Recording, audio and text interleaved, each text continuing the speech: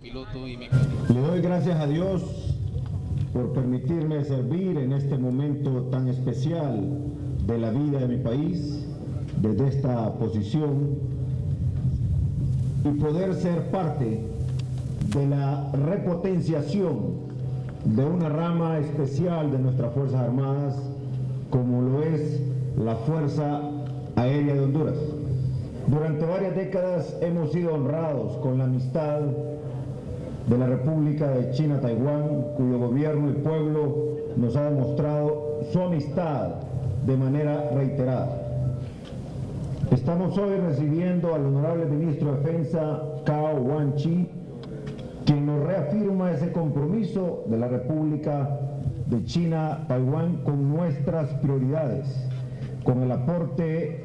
de aeronaves que nos permitirán cumplir con la misión de atender a nuestro pueblo tal como debe ser.